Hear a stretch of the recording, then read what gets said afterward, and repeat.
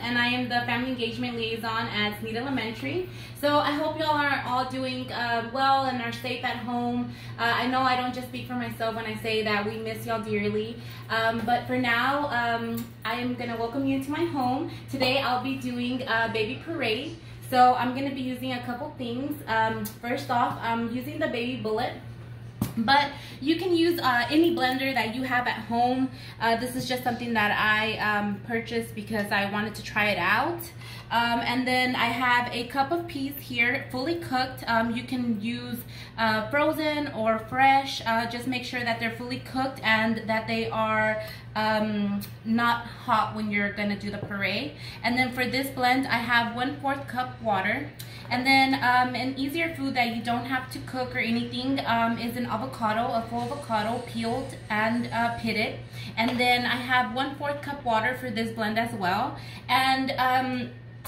I have a couple containers here that came with a baby bullet. Uh, so these are ready to use. And the cool thing is that it also comes with a little container that you can actually freeze. Um, so just keep in mind that when making these purees, uh, fresh um, usually stays about uh, three to four days refrigerated. And then you can actually freeze uh, the purees for up to 30 days and it'll be fresh. Just make sure that you thaw it and take it out at least a day or two before actually putting it into use. Um, so let's get started. Um, we are gonna start with the peas. Um, so um, this is definitely not as um, convenient as being able to just go into your local store and pick up uh, jarred baby food, but it's definitely a lot healthier and uh, I believe less expensive. So the green peas have a lot of vitamin uh, K and B6 uh, it also has a lot of iron and vitamin C, which is really good for the baby's immune system. So right now, with everything going on with this uh, coronavirus, uh, we really need to build up those uh, that immune system. So this is great for um, for that.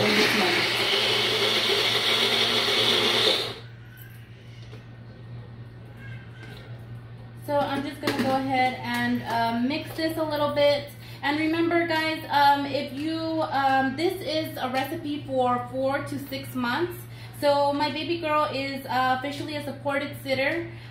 Alright guys, so uh, this is, you know, I blended it for 10 seconds and then I check consistency and I add water according to, or if you want to add more vegetable, like I said, if you want it to be a little bit thicker, you're going to obviously add more vegetable than the water. And so uh, for the green peas, I'm actually going to be freezing them um, for Abigail. So um, this is basically the consistency that you see here. I like it. Uh, it has, you know, a little bit of texture, but it's more watery. Um, she's only been on purees for about three weeks. So I am uh, trying to dilute it uh, the most that I can and so these will go in here. Um, so the one cup of peas and the one fourth cup of water usually make about eight ounces of her food. Um, she's now eating about two ounces a day, so this will last her uh, for a couple of days. So that's why I'm freezing it. Um, because I'll be giving her the avocado one first. Okay, so now we're gonna do our avocados. Remember, you don't need to cook these.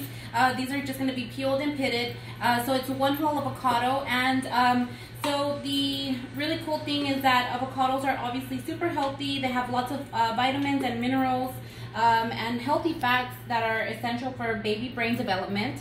Um, so that's really exciting. Um, and I will be putting the one-fourth water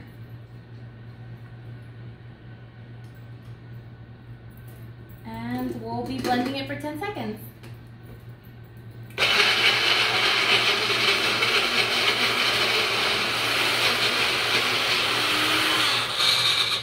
So if it's getting a little dry, you can go in there and just kind of move it around. Um, make sure the texture is um, as smooth as you want it.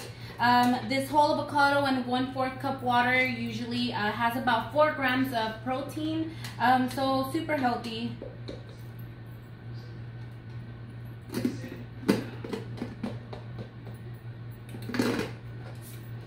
You're just gonna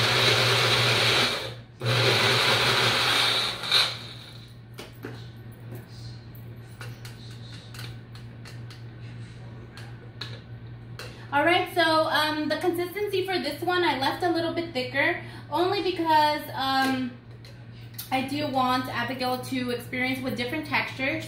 And so this one I did uh, leave a little bit thicker. Um, I might just add a little bit more water once I'm ready to be. So this is the final product. I have four um, two ounce servings for Abigail of avocado, fresh avocado uh, puree. And then I also have the frozen ones. I have five two ounce servings.